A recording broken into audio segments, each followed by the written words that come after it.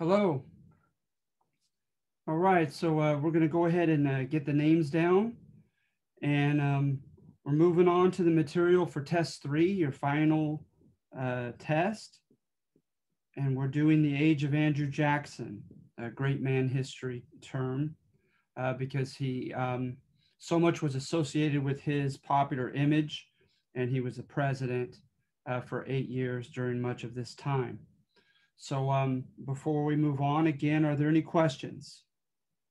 Any questions or comments? Feel free to, uh, to unmute yourself. Please recall also on the, um, on the announcement that I've given, uh, I'm going to, um, I'm not going to be here on Monday. So uh, we'll see how we go through this material. We're either going to go through it right now or I'm going to uh, give a video from a previous semester on the topic, or we might even do both. All right. So no questions? You guys doing okay?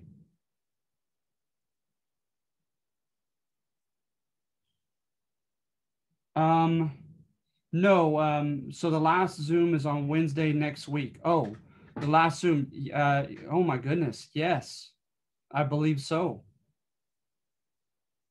Um, yeah, I need to look at my schedule here. I hadn't considered that, but that very well might be true. All right, no problem, Sabrina. All right, and make sure I have all the names.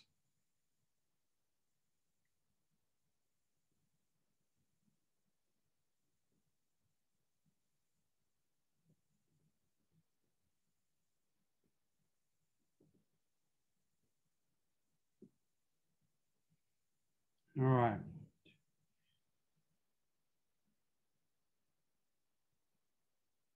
All right, great. All right, so I have everyone. So we're gonna, I'm gonna share the screen, okay? So the first one on Andrew Jackson, it's one section. It's one long section.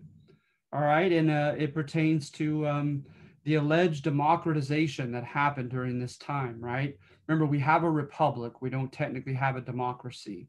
Um, a republic is a mixed government, right? We still have offices like Supreme Court justices, cabinet members, uh, especially especially Supreme Court justices, because they're not only handpicked by elected officials, but they are um, chosen for life, basically, right, for good behavior. And um, so that's important to note. We still have a republic, but relative to the generation before, right? They contend that in the late 1820s and the early and throughout the 1830s, that our republic was democratized. All right, and and how how did this happen? Um, or yeah, how did it happen? I don't mean as far as causation. I don't pretend to be an expert in that. Uh, but what happened? Uh, first of all, uh, so for one, right, you have um, states, many states dropping their property requirements for citizenship and thus allowing non-property owning white men to become citizens. All right, so that's one way uh, that that the republic was democratized was the um, the franchise, the citizenship uh, population uh, increased, the proportion of the of the population who uh, were granted citizenship rights uh, was increased. Then, in addition to that, uh, you had an old system of nomination uh, of candidates uh, at the at the federal level, and they were they went through the Senate, and it was a self-appointed elite called the caucus, C A U C U S, and they would they would appoint those who they wanted to run for office, and so not any regular person could technically run for federal office uh, because it went through this self-appointed elite in the Senate and Andrew Jackson and others, right, who who followed the line of the Democratic Republicans. They got rid of the Republican part and they just went by Democrats uh, at this time, the Democratic Party, and they wanted to put an end to this. They wanted to democratize the nomination of candidates, and so they implemented the uh, party convention system. And on paper, the party convention system sounds wonderfully democratic. Uh, you go, uh, the the political party uh, advertises through newspapers, etc., uh, times of, of, of, conventions, and any citizen and member of the party could come to the uh, convention and nominate anyone he or she likes from that convention uh, who just require just required citizenship and affiliation with a party. And so now, technically, right, um, Joe Bob can can uh, put down his his farm implements and run for office through the local convention system. And then whoever won at the local convention would go on to a higher regional convention. Whoever won from that went to the state or federal convention and so forth. So, on paper at least, it looked as if any common citizen now, including non property owning white men, uh, could run for office. All right. Then also political participation. You look in the back of Alan Brinkley's textbook, and political participation supposedly, uh, you know, uh, jumped leaps and bounds. Uh, you, you have, in one case, right, I have here, for example, the percentage of eligible citizens, right here, who voted for a presidential candidate rose from 26.9% of eligible voters in 1824 election to 80.2% in the presidential election of 1840. That's pretty impressive. All right. And that is just the uh, federal level for president.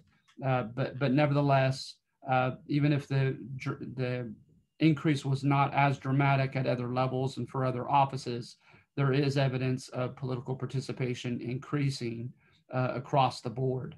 Um, you also have a local uh, city, urban, and, and other uh, mainly urban uh, organizations that, that had a bit of a grassroots um, image to them, at least, if not reality. Uh, because sometimes it was those the self-appointed elite in the cities who ran them but it, uh, a lot of city organizations, according to Edward Pessen in his book, uh, organized uh, on their own volition outside the political structure and for everything, for practical issues like sewage and sanitation, crime problems, and, and trying to implement a, a new police force, um, to uh, more idealistic associations like trying to uh, implement uh, uh, widespread universal education for all children, uh, trying to create more almshouses to get the homeless and the poor uh, out of their situation and to improve their lot, etc. So you have a lot of associations that people joined uh, at this time as far as the, the argument for democratization that, that people, not only more people were citizens, not only more citizens now had an opportunity to run for office, but also more citizens were participating in the republic's functions, uh, namely in elections and so forth, and forming a lot of, of local organizations and, and participating civically, all right, uh, in government. So at any rate, you have evidence for all this uh, in, in, the primary sources. And um, uh, you could even give credit to Andrew Jackson and some of the Democrats for wanting to, uh, if you do see this as a good thing, as far as a system of checks and balances versus the democratic impulse, uh, they wanted to um, they wanted to get rid of the electoral college system and have the president and other offices. Well, it's just mainly the president and vice president um, elected by popular vote rather than through the electoral college system. Obviously, they didn't do so. We still have it to this day, uh, but they tried to. All right. So you have evidence of things like this. You have a lot of uh, public rallies and a lot of hoopla on election days and so forth. Uh, they would they would sell beer and alcohol. Uh, they would have fireworks and parades, uh, flying eagles, all all the um, you know the uh, accoutrements of of civic engagement and civic pride and patriotism and so forth, you see this. You have a lot of political rallies in which, to a limited extent, uh, the politicians were asked questions from their constituency and addressed those questions uh, for crowds.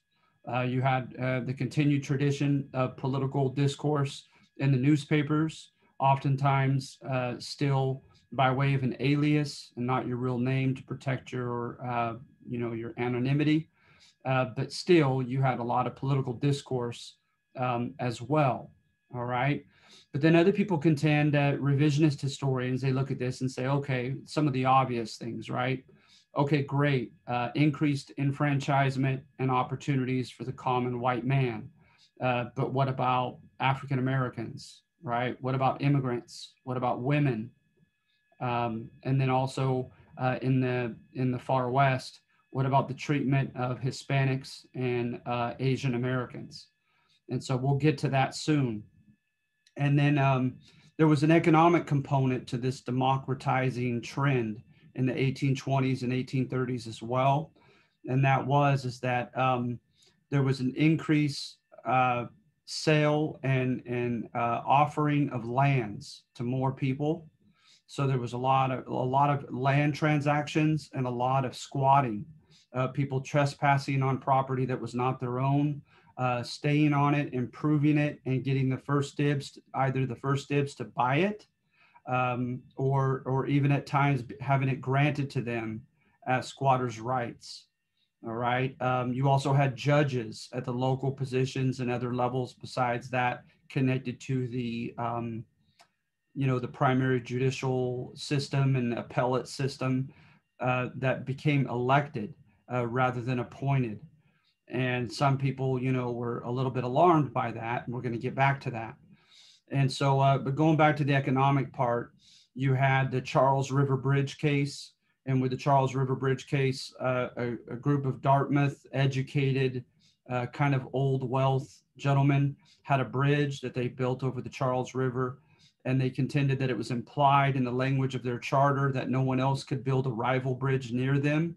And it went all the way to the Supreme Court, and the Supreme Court under Roger B. Taney uh, made its decision that, um, you know, they wanted to make a definitive message that we have a capitalist free economy and that if um, Joe Bob and and some other you know quote redneck uh, from Kentucky or Tennessee from the frontier states wants to build a rival bridge with these Dartmouth northeastern snobs, uh, he has the right to do so. It's a free land of competition and opportunity. So you had um, uh, also more easily accessible credit uh, by way of uh, they were called wildcat banks at this time uh, for their tendency to lend a bit irresponsibly, but nevertheless lend very generously uh, to the common folk. And remember, it, it takes money to make money, right? And the main avenues for which people achieved the American dream were not yet through academia, but arguably entrepreneurial and starting a business uh, or through uh, cash crop farming, both which required overhead, money that you got to pay right off the bat before you see a penny of profit.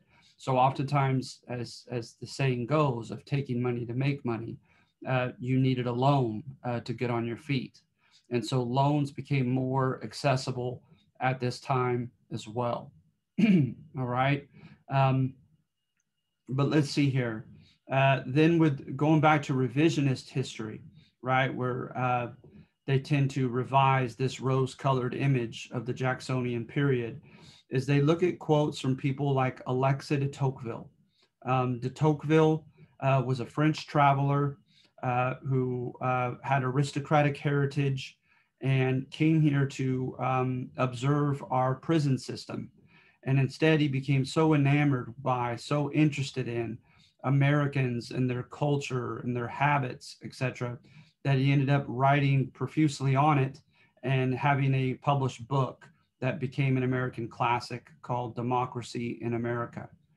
But in it, I would make the argument that um, it's been a while since I've read it, but from my, if my memory serves me correctly, um, yes, he praises America in, in some respects, but he also has plenty of criticism for America as well. Is for one, right? He's just he's at a at a loss for how um, how egalitarian Americans were socially, right?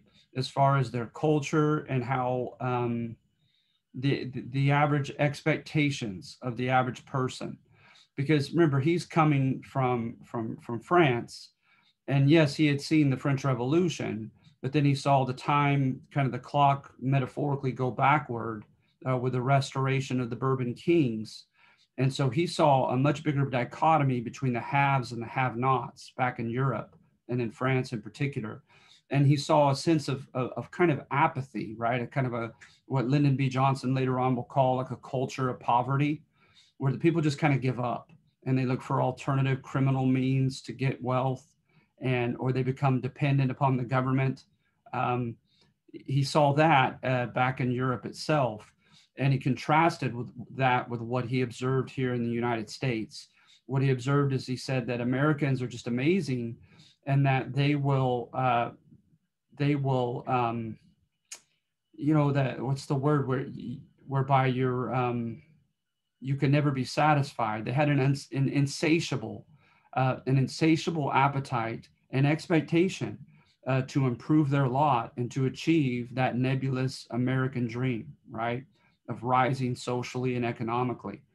And so um, he said Americans will build a house, and before the roof's even finished, he said they won't be content any longer with that small property, and they'll sell that property and go for somewhere bigger and better further west. And so um, he uh, there's an anecdote of a, a, a, French aristocrat coming into a tavern, and someone cuts ahead of him, and he says basically, "I beg your pardon. Don't you know who I am? I'm the uh, Viscount of such and such," and started uh, citing his titles. And the American supposedly said, "That might mean something back in Europe, but that doesn't mean a thing here in America." And spit tobacco on his shoe and walked ahead of him into the tavern and so he said, like Americans have this incredible self-esteem whereby the average American expects to become rich, expects to do well, expects to have opportunities come his or her way, um, etc. And to him, it, that was just um, very uh, surprising, for lack of a better adjective, uh, compared to uh, what he had observed and experienced back in Europe itself. So, at any rate, um, he also contended that that the Americans tended to um, that with with his version of American democratic culture, he thought that they're, they're kind they're, they're sort of tended to occur a uh, an adherence to the most common lowest denominator. Uh, so that, for instance, right, so the average um, frontier uh, poor American, let's say in the frontier areas of the West, like Tennessee and Kentucky, right, at this time, is that um, culture tended to gravitate downward toward that demographic. And so when people ran for office, they tried to boast, ironically, because it seems ironic compared to the generation before and before and before that. They tried to boast of how poor and, and they had been and in what poverty stricken circumstances they had extricated themselves from right and and had arisen from.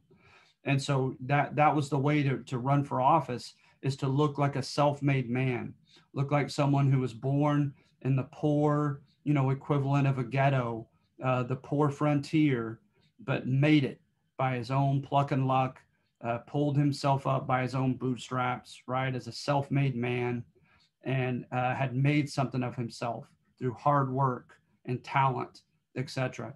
And so there was an adherence to this kind of, um, you know, frontier culture. Uh, this this kind of you know um, you know, and I don't mean this tongue in cheek, but with today's you know association with the term, but kind of a redneck culture. And so, at any rate, um, the improper grammar, um, a bit of a, a, xenophobia, right? And remember, that's kind of a, a hateful fear of anything unfamiliar uh, to you and to what you've grown up with. Um, so there's almost an xenophobic um, aversion toward people in the big cities in the Northeast, for instance, toward intellectuals, because intellectuals, you know, college educated intellectuals were still such a small minority, um, against immigrants against Hispanics and Asians in the West um, in, in, the mid 1800s. And so, uh, you know, to him, this wasn't all good, uh, this adherence to a low common denominator, this kind of redneck blue collar culture that seemed to become uh, the primary uh, dominant and mainstream culture, right? And Andrew Jackson, this fit perfectly for him. He was he was his demographics, his background, his even temperament uh, fit in perfectly with this time period.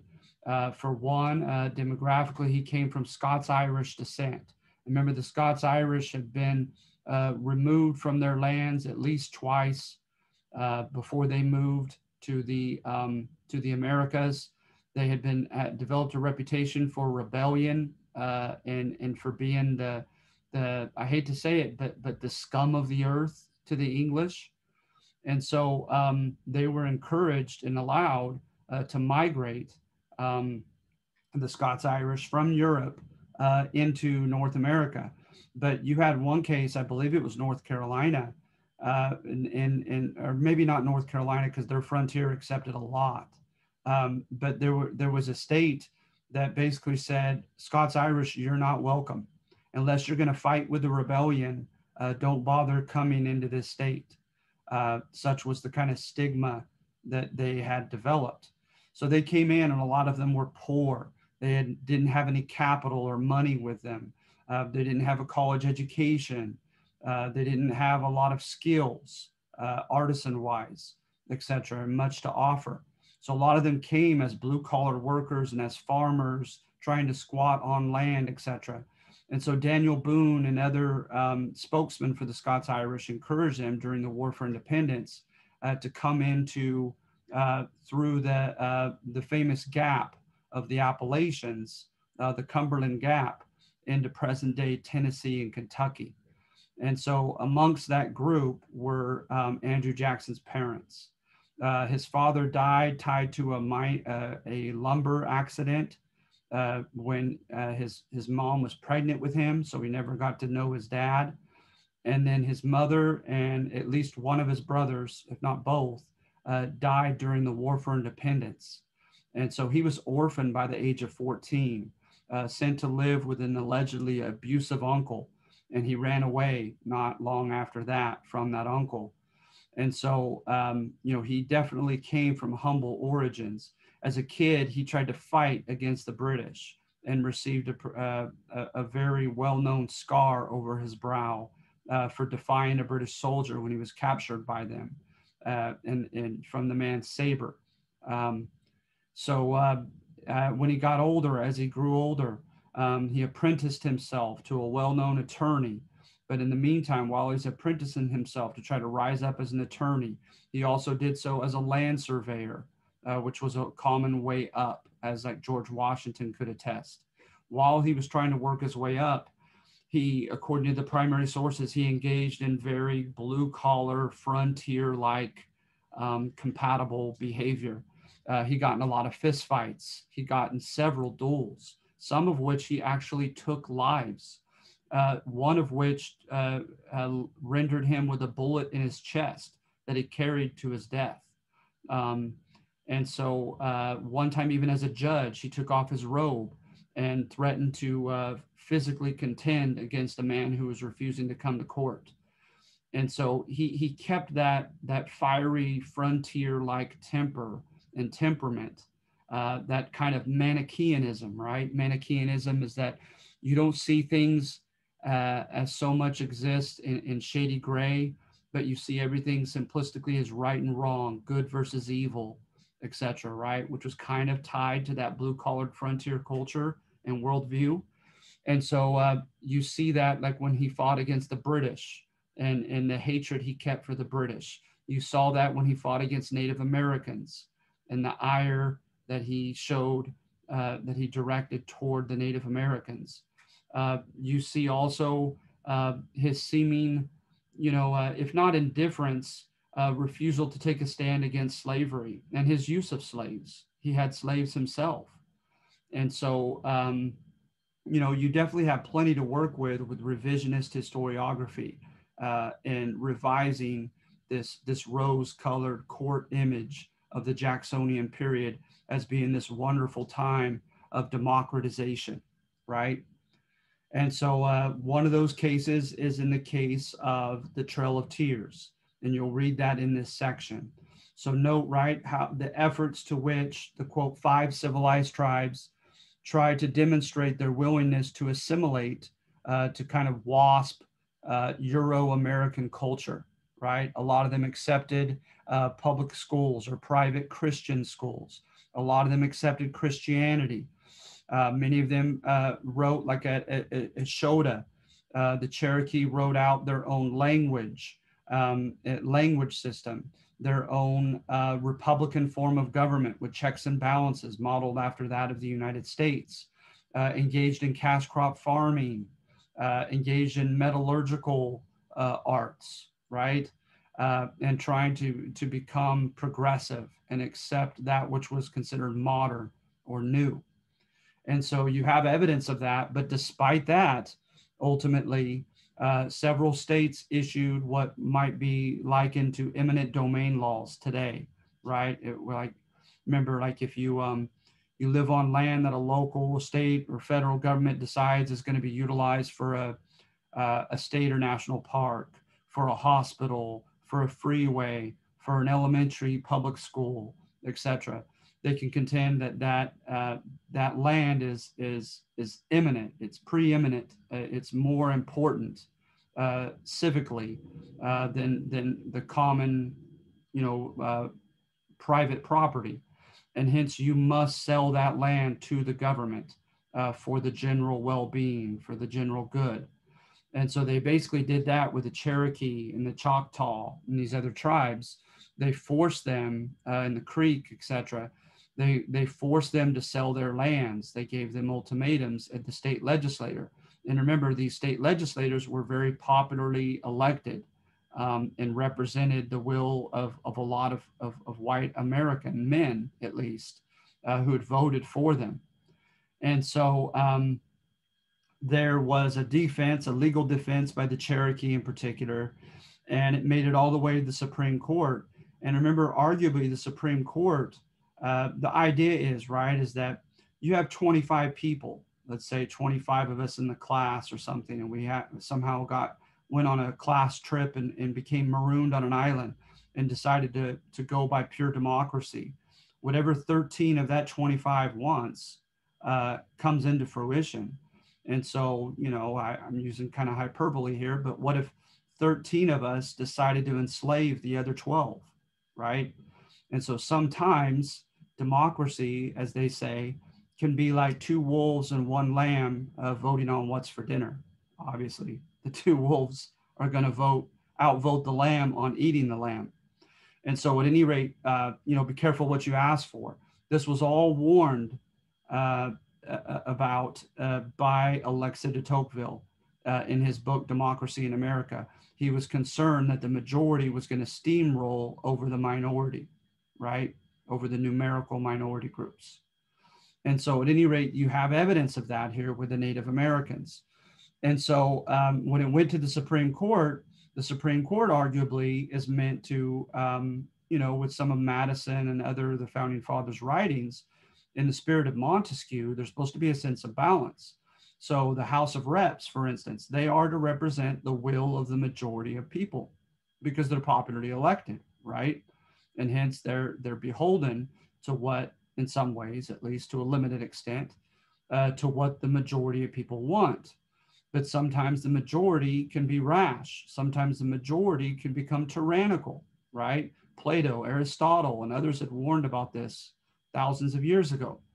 And so in that case right you need a group of of, of individuals and let's face it in this case it's men uh, wealthy educated men uh, with the Supreme Court, you need a group of individuals who are cushioned and protected from popular opinion, whose offices do not depend upon popular election, for them to make the tough decisions that defend the minority groups, the numerical minority.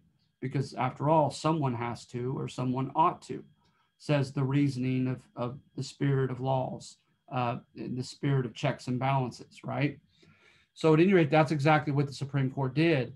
They sided with the Cherokee, and because what they did is that uh, on a technicality is uh, the there were several treaties uh, federal treaties that granted those lands to the Cherokee, to the Choctaw, to the Creek, etc. And they said that a federal level clause or treaty supersedes a mere state law that tells them that they have to sell their land. That if, if there is a, you know, a conflict between a federal treaty made by DC and a mere state law, that the federal uh, level treaty uh, should prevail, should be supreme. So, at any rate, on account of that, because of the federal treaties, the Cherokee were told they could keep their land. Well, President Andrew Jackson uh, defies that and says, No, I have a mandate from the people, like the Spanish word mandato. I have a command uh, from the people. This is what the majority wants. And again, kind of being Manichaean of just seeing things in black and white, uh, he acted as if the will of the majority is almost mystically always right, uh, morally and um, you know logically. So at any rate, uh, he contended, "Hey, this is what the people in those states want," and then he took a paternalistic uh, approach as well toward the Native Americans, and stated that they are incapable of fully assimilating to Anglo or, or Euro American culture and institutions. And in that, they are allegedly, supposedly, incapable of assimilating, of dropping their own culture and traditions and ways and embracing that of white America, right? In that they are allegedly incapable of doing that, conflict will become inevitable uh, as, like oil and water, uh, the Native Americans and the, the, the, white Americans will not ever mix. Uh, and so, because of that, he said war and conflict will become inevitable, unavoidable. And the Native Americans, just by numbers and technology alone, will surely lose. So, hence, it is for their own good, it is for their own future protection, he said, that we force them to sell their lands to the state governments uh, for their voters who were coveting this land, right, this fertile land, uh, force them to be removed to a western area of Indian territory for their own protection, supposedly, right? And that, namely, that's in uh, western Arkansas and eastern Oklahoma uh, today. So they were sent in the infamous Trails of Tears, right? There were several of them, but one of the most famous, uh, over a sixth of the people um, uh, died uh, en route. Uh, many of them contracted dysentery uh, the uh, situation there in the on the reservations was rather poor and chaotic when they first got there. there was a, a, law, a big sense of depression and apathy quoted in primary sources of within and amongst the Native Americans. And of course, some of the Native Americans even resulted, even um, reverted to violence against their authoritative figures who had given their consent uh, to this trail of tears. All right. So be careful what you ask for, right? This section states as far as having more democracy and putting the majority of people uh, at the proverbial driver's seat or driver's wheel. All right. So, any questions so far?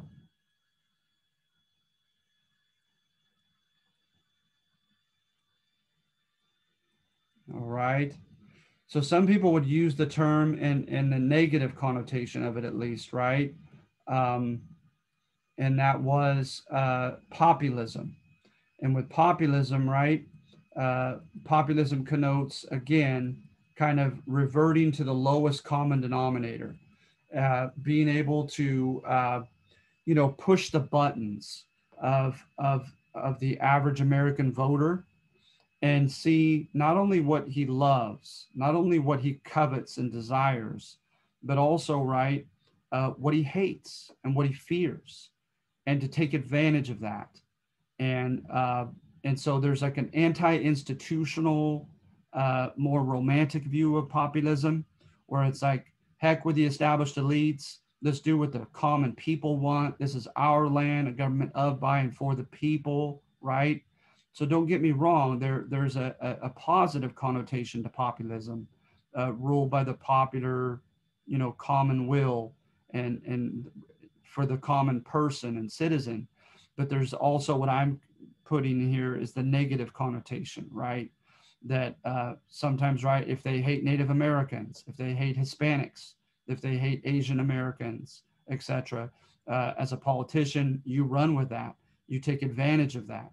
Uh, you use that group as the other, right? In psychology, uh, that that group that uh, you dehumanize and and sometimes, right, like Emile Durkheim and other sociologists contend that sometimes, you know, uh, putting people under a negative stigma, like criminals or immigrants or others, right, can have a very positively unifying effect on the majority of people that are kind of scapegoating that group uh, can bring about a beneficial unity. And so you know uh, not to get conspiratorial but sometimes right this could serve uh, the politicians well and getting everyone united in hating the native americans etc and uh, utilizing that unity uh, for their own ends so something to think about, okay?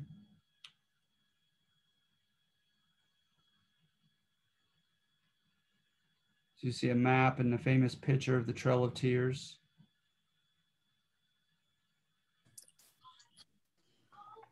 Professor? Yes, please. Yeah, can we use that in comparison to today? Oh gosh, yes. Please go on. And in what way? Um, basically, how you were talking about politicians using that, you know, for their own will, which I feel like still is equivalent to today. I feel like a lot of people are misinformed through social media, so I kind of wanted to use that as as a comparison. That is an absolutely appropriate comparison. Okay, great. Thank you. Yes. So xenophobia about Mexican immigrants crossing the border. Uh, absolutely. Absolutely. Uh, great. Thank you. Uh huh. No problem. All right. And so, uh, yeah, it is. I, I, I think that's a very appropriate uh, tie uh, to contemporary realities. Uh, then, in addition to that, right, you have expansion. And a lot of this is happening at about the same time in the 1830s, but also the 1840s. And the argument is, right, is that um, what, what I revolved it around was Turner's thesis. Okay. Uh, Frederick Jackson Turner wrote a famous thesis in the 1890s, and he states basically that which makes America what it is, right? That's what that which constitutes Americana, if you will, is meritocracy. It's rising or falling by your own effort and your own talent. And let's face it, your own good or poor luck, right? And he states that the West helped establish that attribute, that defining attribute, that the West opened up meritocracy uh, definitively for the American people. So he states, right, that the West, first of all, was equally dangerous for everyone. That some of the the the common, you know, ailments, the common accidents, the common acts of violence uh, that that could incur, uh, someone could incur moving westwardly uh, could have happened to anyone, right? And so I kind of think of like Joseph Campbell and, and on mythology and on Americans' mythology with the West of of the uh, the hero's journey, right? Like um, you see with the the primary character, the protagonist, in a lot of famous uh, literary works and movies, etc. Is the hero right has to go through conflict, uh, has to experience uh, in, uh, improvement in character and in depth, etc. Right?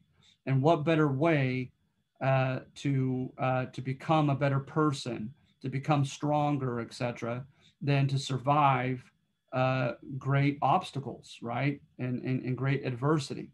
So that's one part of his thesis that he tries to uh, defend that claim with, right?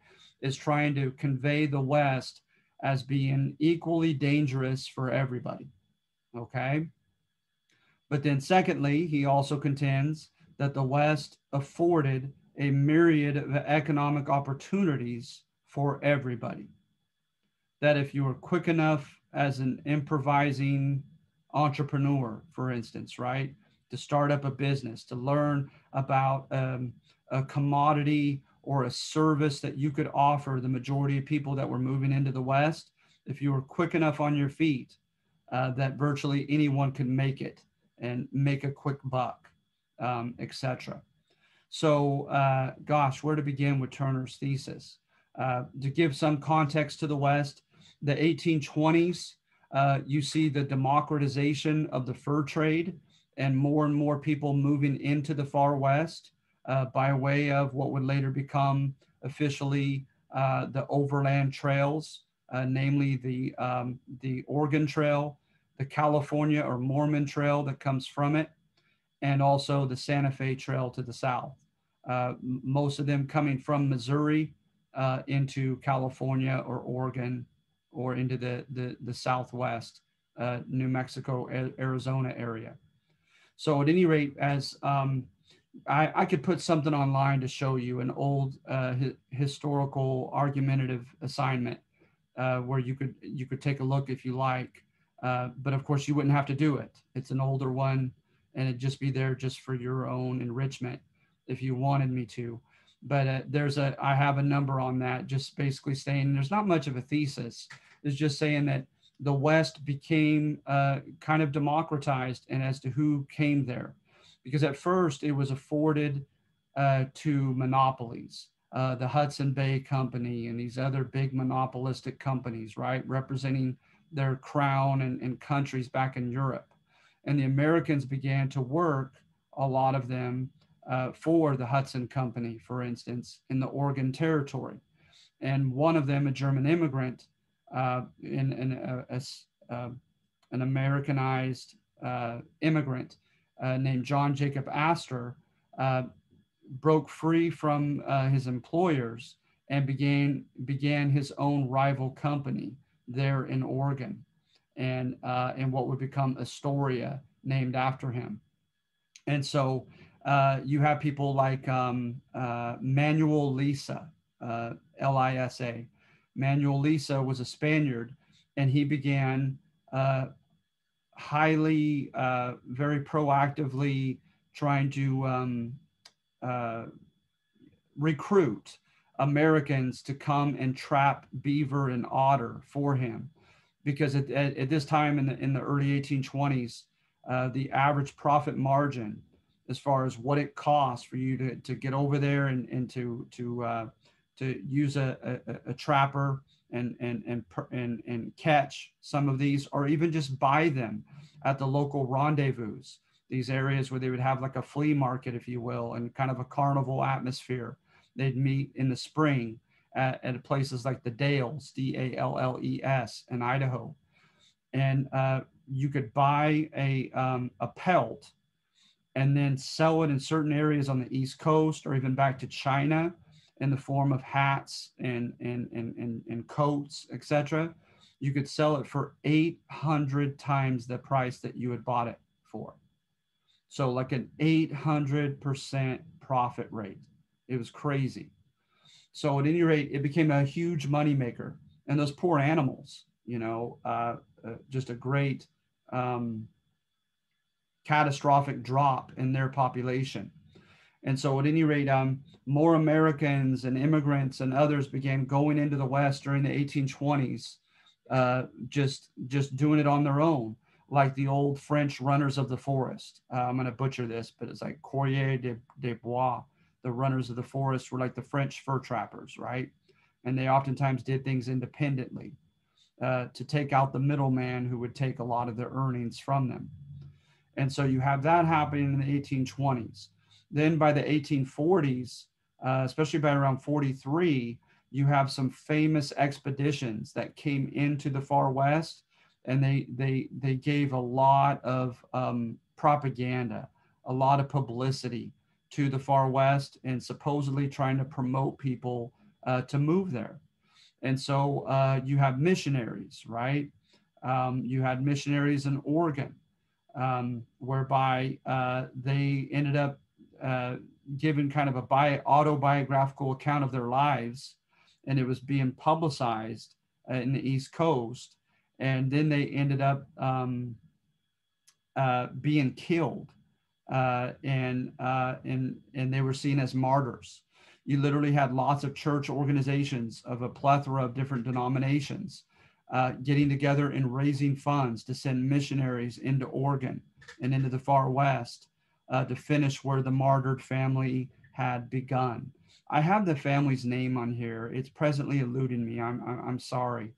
Um, but at any rate, um, I want to say, I want to say Whitman, Narcissa Whitman and her husband. But at any rate, um, so you had missionaries, right, uh, flooding in, and of course you had the birth of the uh, of the Mormon uh, denomination or religion, and uh, with um, with uh, Brigham Young uh, taking reins right after uh, Joseph Smith was was murdered, and making a contract with the U.S. to move into present-day Utah, and so you got a lot of publicity with that, and thousands of Mormons, tens of thousands who came in with them. You, in addition to religious figures, you also had just common families uh, the Bidwell Bartleson Group, right, uh, came into Mexican California, and the uh, what was the equivalent in Oregon to the Bidwell Bartleson Group? Uh, no, that was the Whitman Group. I apologize. Um, but the Whitman Group into Oregon and the Bidwell Bartleson Group into Mexican California, they they developed two uh, two I two sources of identification that ended up serving well for future Americans coming in to those areas. And those two parts of identification were one that they were innocuous or harmless. They came with their women and children. Uh, a lot of them didn't have much in weaponry. Uh, there wasn't a large number of them at first. And so, hence, uh, Vallejo, that the city of Vallejo is named after, uh, he got to make the decision um, in Mexican California. And he decided that, that the Bidwell Bartleson Group and these other Americans coming in through the gap of the Sierra Nevada mountains between California and Nevada uh, were, were harmless. And then secondly, that they were enterprising was the generic term that was used. And enterprising, right, to me is kind of broad. It's that you are not only hardworking, but you are you embrace that which is novel uh, economically. So they were establishing grist and, and lumber mills and uh, using saws and, and other types of, of mechanical implements that were seen to be very progressive at that time. So hence that they were going to improve the economy, right, and contribute to the Mexican Californian uh, economy. So the Bidwell Bartleson Group according to Chicano historians, right, was unwittingly, unknowingly coming in like a Trojan horse, they say, right? And you know the story with the Mycenaeans coming into Troy and they hide, their soldiers hide inside the, uh, the Trojan horse. And the Trojans unknowingly allow them right in through Priam's gates, right in his walls. And in the middle of the night, they come out of the horse and attack. So the Bidwell Bartleson group is seen in, in, that light by Chicano historians that they made Americans look as if they were going to just simply economically improve um, the, the region and that they were harmless, right? And so the same thing with the other expedition uh, that came into Oregon. Uh, they were allowed in by a gentleman named uh, McLoughlin, uh, who was the, the British official uh, in charge of the Oregon Territory claiming it from the Native Americans long before that. So at any rate, Americans came into the, what was called the Willamette Valley of Oregon, and they came into the Sacramento Valley of California uh, in progressively large numbers during the 1840s. Okay. And um, then in addition to that, you had the Mexican American War from 1846 to 1848. Uh, we had two main invasions, one uh, from the American Southwest into uh, Coahuila, Mexico, and the north of Mexico under Zachary Taylor, and another one under Winfield Scott uh, in the south that followed the route of um, Hernan Cortez uh, into Mexico City. And so uh, the Americans are going to win uh, that war. uh, that two year war, and they're going to claim, they're going to force Mexico to sell um, California, Arizona, New Mexico, Nevada, uh, parts of Utah, parts of Colorado, etc. A huge swath of land. I have a map of it. Um, okay, and so um, in the midst of that Mexican American War, uh, the peace treaty was signed on February 2nd, 1848, and uh, January 24th, just like eight days before, uh, gold was discovered at Sutter's Mill, and it was uh, soon publicized. So it couldn't have been worse timing for Mexico to officially lose California, and then right in those days when they were giving handing California over, a gold rush ensued and was going to ensure the influx of a huge uh, majority of Anglo Americans coming into Hispanic and Native American California. All right. Um, and then going back into that war, um, one of the causes of it was that um, there was a dispute over, I mean, the first and foremost, really, is there was friction over the loss of Texas, right? Uh, Texas and Coahuila were one state united uh, beneath it, and um, under Spain and then under Mexico. And um, I have the data on this, I believe, on number two. Uh, then uh, very generous land grants were opened up to uh, Anglo settlers into Mexican Texas um, under, especially under um, leaders who were uh, seen as like a provisional governor uh, to answer to the Mexican government and to be a loyal middleman between the uh, these unknown Anglo immigrants and the uh, Mexican authorities. So the famous one, right, was Moses and then his son Stephen Austin. And um, as far as Chicano history goes, right, uh, the from their perspective, uh, the American immigrants were ingrates. They came in, they took advantage of great land opportunities, great business opportunities, and they didn't do their part. Uh, they didn't learn Spanish, they didn't become Roman Catholic, and they didn't abide by Mexican laws as they were supposed to. Uh, one of the Mexican laws stated that they could not bring slaves uh, into the territory, and many of them coming from, many of them were Scots Irish coming from uh, Kentucky and Tennessee, and many were uh, poor white men coming from the lower south of Mississippi, Alabama, and Georgia.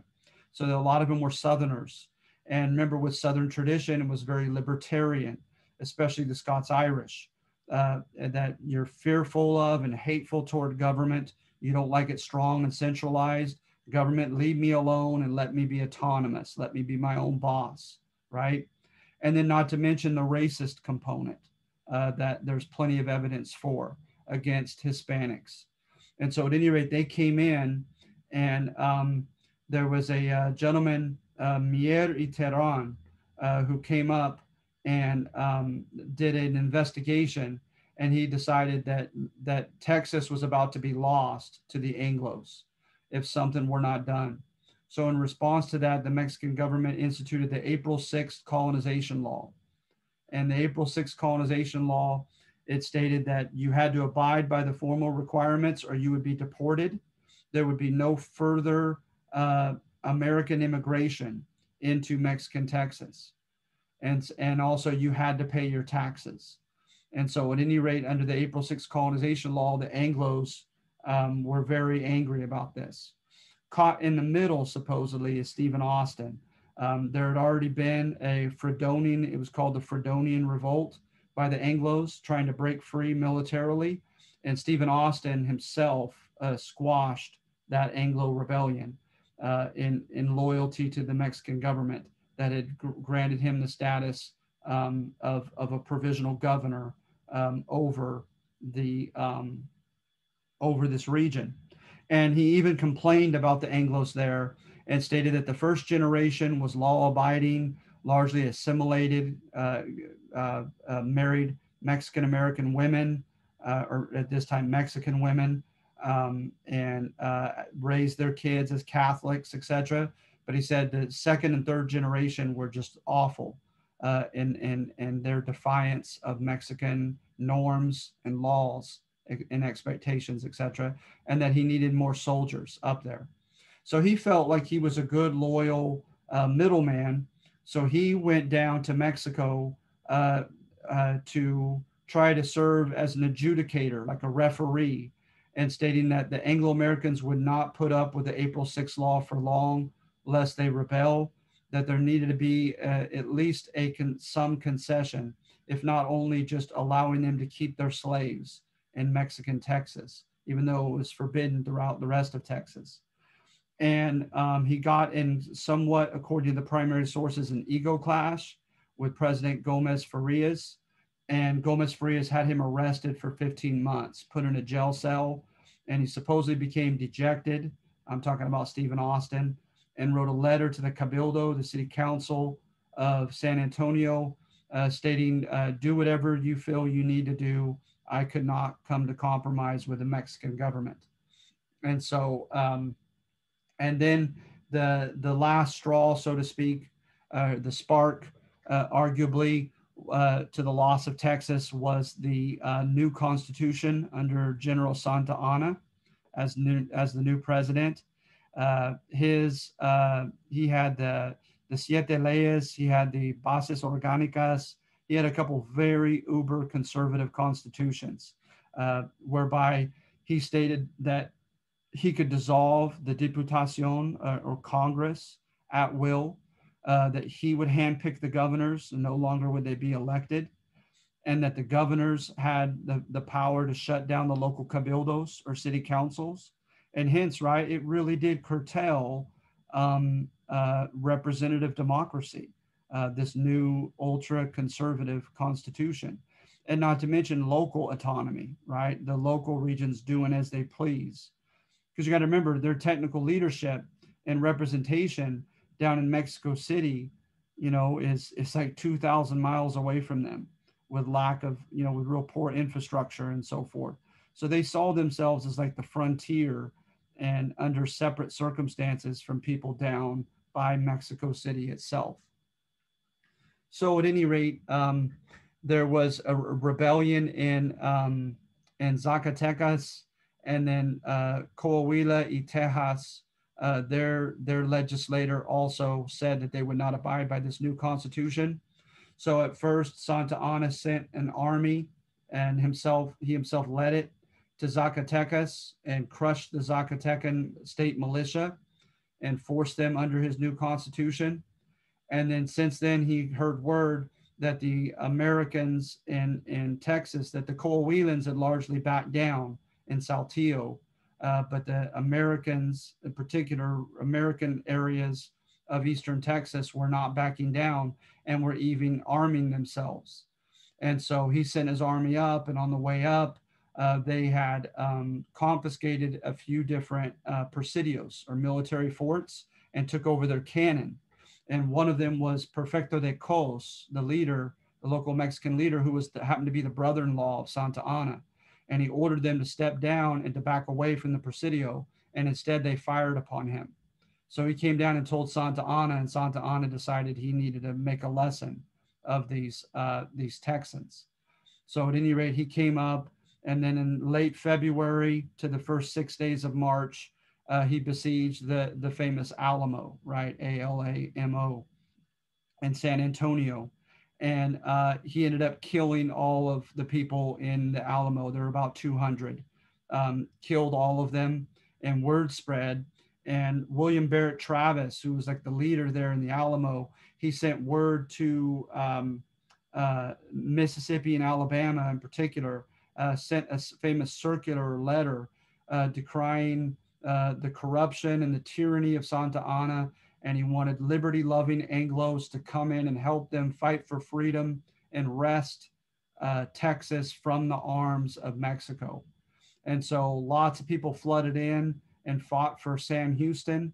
And Sam Houston um, attacked at the most unlikely time when the three armies of Santa Anna um, ironically united. And they, the, the idea, right, with uh, Sun Tzu and the art of war, is that you sometimes hit the enemy when he knows he's strong because he puts his guard down, not expecting it. And so that happened. And um, at uh, San Jacinto, uh, J A C I N T O, they captured Santa Anna. And in exchange for his life, he signed Texas over. This happened in 1836, in the summer of 1836. And so from 1836 to 1840, the end of 1844, right, uh, Texas was its own Lone Star Republic, its own country. But the Mexican government warned the United States, don't touch Texas. We're going to get it back in time. And so, under President Tyler, who got kicked out by his own Whig party because he was too much of a Democrat, like a Southern Democrat, uh, John Tyler asked Congress to um, uh, what, what's the word annex basically. There's a there's a more official word uh, that's eluding me right now but to annex uh, texas as a new state to incorporate it as a new state. And so when that happened you'd already had two attempts uh, by uh, tyler and then by james k. Polk the newly elected president of the democratic party uh, whereby they tried to uh, buy purchase the far west from mexico for 15 million and mexico considered it the government considered that an affront uh, a great affront to their uh, to their culture uh, to their dignity etc and asked the diplomats to go home. And so you had tension over that and then the last thing was is polk arguably picked a fight over the border between texas and mexico um, by uh, the spanish treaties and with the mexican uh, uh, treaty there was a bit of a disparity, uh, but it seemed like the, the Mexican government was in the right with it being the Nueces River. And instead, uh, he contended that it went further south uh, to the Rio Bravo del Norte or the Rio Grande, as we call it. And what's funny is that land between the Nueces and the Rio Bravo uh, is some of the most barren land on the continent. And yet we fought over that stupid land. And so um, the Spanish, the Mexican troops came to the Rio Bravo or the Rio Grande. The American troops crossed the Nueces, which the Mexicans considered an invasion of their territory, to the Rio Grande. And they had a standoff for several days until a uh, cavalry unit of the Americans was fired upon and a handful of them were killed. And Polk ironically tells Congress American blood has been shed on American soil and contends that something needs to be done about it. But he made no bone about it that he wanted uh, California. So, at any rate, um, the Mexican American War happened. And then, right at the end of it, you had the gold rush. And you have in the primary sources of the Spanish newspapers of 1848, you do have evidence of a lot of minerals and uh, gold uh, being dug up at the superficial level by people with no expertise and no uh, tools, no capital, no money necessary, but just digging it out through primitive means. And so some people did achieve the American dream who got here first, who got here early, right? But some of those who got here early were already Mexican Californios or Mexicans who beat the rest of the people traveling over 2,000 miles across the overland trails.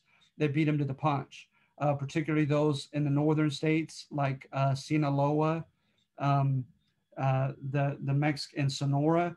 The Mexican immigrants came in more quickly and beat them to the mines. Even the Chileans got here early, and uh, they had good use of mercury or quicksilver, and they were it was highly coveted how successful they became as well.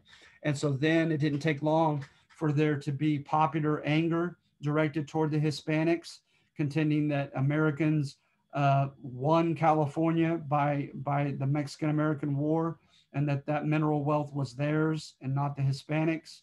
So there was economic rivalry and resentment, right? Not to mention that greatly outlasted the gold rush with Anglo and, and Irish immigrant and other uh, Euro Americans who uh, competed with Mexican Americans for jobs on the railroads, uh, on the plantations, in the mines, etc. Not to mention also with the Chinese.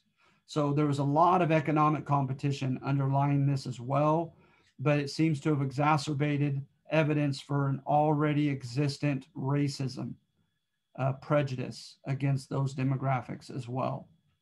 And then it didn't take long for that um, that popular anger uh, to grow into the fruition of laws.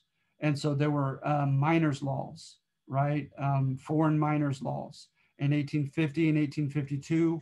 One was clearly directed toward Hispanics, and the other one was clearly directed toward Asian Americans or Asian immigrants. All right. So you should see evidence of this on number two. Number two goes against Turner's thesis. Number one tries to support it that the West was an egalitarian area that was equally dangerous but afforded equally, uh, you know, uh, growing opportunities, uh, economic opportunities for the common person. And number two says no, uh, racism alone ensured that Turner's thesis does not hold water. Another common avenue toward the American dream was mining the miners, for instance, finding something that the miners coveted or needed and providing that good or service to them for money. All right. But there's plenty of evidence that the wealthy, it didn't take long. And by the early 1850s, the wealthy alone were extracting most of the wealth from the mines because it required heavy machinery like uh, hydraulic, water powered, or pneumatic uh, air powered drills that the average person could not afford. So it didn't take long, and you have like the Anaconda Company and these other big corporations that hired people who had come to achieve the American dream by way of the gold rush, and instead, um, you know, found that they had to work for hourly, low hourly wages and do dangerous work for a mining corporation instead and then the Americans coming in, taking and seizing land from the Mexican Americans. Uh, they did it be by way of um, just bullying and, and violence or threat of violence. And they also were able to get by in the courts on many occasions, sadly, uh, because uh, for one, squatters' rights. A lot of Hispanic landowners owned a lot of land and they were pastoral. And so, hence, you had land um, you know, like driving up 108, you see the hilly land and you wonder, is this privately owned? Is it public domain? And it doesn't seem to be inhabited by anybody. And so hence they said, hey, no one's on it, no one's working it, no one's improving it. And so they granted were granted squatters' rights by popularly elected judges who wanted to stay popular and win re-election and go with the majority of Anglos and what they wanted. And so uh, judges granted squatters' rights to a lot of people, and that carved up the big domains of the big Hispanic owners uh, who lost big chunks of their lands. So, like the Nieto family down in LA and other uh, families that had a, a, lot of land, had a lot of it gobbled up, including Vallejo himself. You had corrupt uh, and greedy attorneys who would who would demand real high fees, and when they couldn't pay those fees, they had to give up land on collateral as payment to their lawyer. There are many ways in which uh, Hispanic people lost their land when when the border crossed them. All right. So, any questions?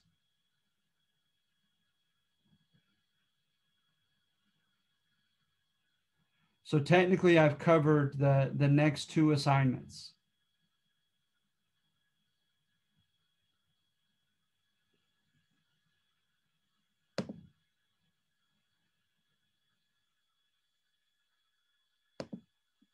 All right.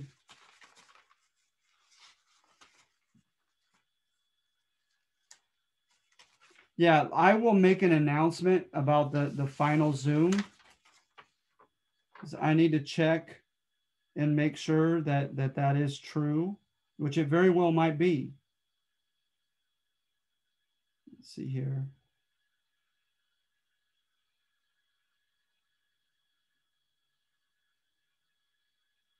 So we end the the last day is the 24th.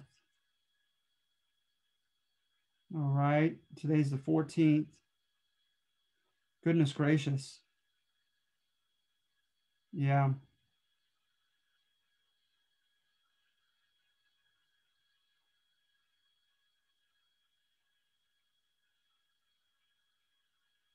So uh, what I'm going to do, it looks like, okay, is I'm always eager to help you. I really am. So uh, whatever I cannot cover in a Zoom as far as an assignment, what I'm going to do is I'm going to reach into my arsenal of previous semester um, lectures and Zoom meetings on those topics and just post them for you. So it won't be you, it'll be a previous semester's class that I'm interacting with, but it's covering the material that you need to know, okay? And I will certainly meet on Wednesday. I apologize that I cannot on Monday, but I will try to make up for it, like I said, by way of um, previous semester Zoom videos or lecture videos. Okay. So also don't forget, right? I believe your quizzes are due on the 17th. That's just in three days. So don't forget that, okay? In three days, your, your textbook quizzes are due.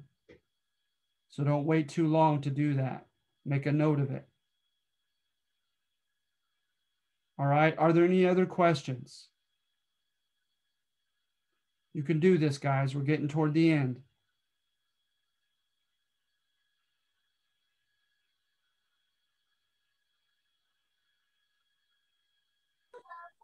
Uh, Professor, I do have a question. Yes. Yeah. Um. So I I did see the we had like a small little chat space area on Canvas about reaching you through email. I don't know if that was addressed at the beginning of the class because um I joined a little like 15 minutes late. But um, are you going to be consecutively available through email throughout this week? Yes. What I would recommend. Uh, oftentimes, I get an email through an announcement but if you would please give me Canvas announcements. Okay. My I I, I have I I've been having issues with my email. Uh, Canvas announcements, I have no excuse. Okay. Okay, so if that's okay with you, if if that's if that's attainable, uh, please give me Canvas announcements. Canvas announcements. Okay, yeah. thank you so much. You're very welcome. Thank you, and sorry. All right, so anyone else? Anyone else?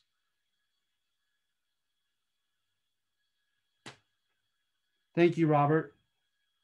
All right, you guys hang in there, okay? You guys hang in there and I'll do my best to uh to put videos up. And I look forward to meeting with you next Wednesday, okay? So hang in there and I'll continue to communicate via announcements.